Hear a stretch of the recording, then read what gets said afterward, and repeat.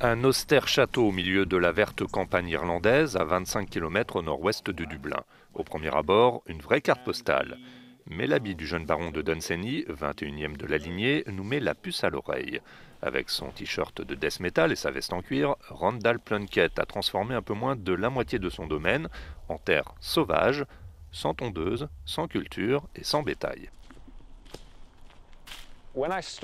Quand j'ai commencé, c'était un secret. Pendant les cinq premières années, personne ne savait ce que je faisais. En fait, les gens du coin pensaient que j'étais un crétin décadent, détruisant la terre sans aucune raison. Au bout de huit ans d'efforts, ce végétalien assumé et défenseur affiché de l'environnement annonce des résultats concrets avec le retour d'animaux sauvages, comme des loutres, des cerfs, des buses et des martres. Chaque année, j'assiste au retour d'au moins un animal. Et c'est merveilleux parce que nous rendons son côté sauvage à l'Irlande, connue pour être l'île d'émeraude, et nous ramenons un peu de ce vert.